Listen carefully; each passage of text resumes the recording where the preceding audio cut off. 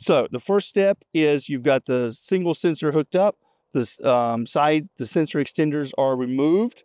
We've got the, the sensor connected to the controller. We have our extension rod here and I'm going to select, we've got the controller powered on.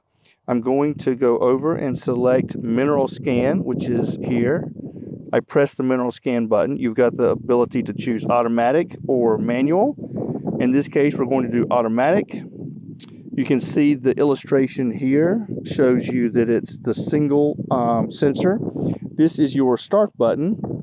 And we've got um, a distance here of about 75 feet.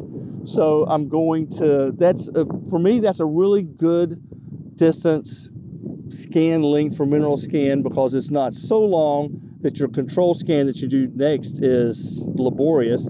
So you can, because you always want to do two scans. One scan, your control scan, you check them. If they look the same, then you're okay. If they don't, then you need to do the scan again. That's always an important thing to remember.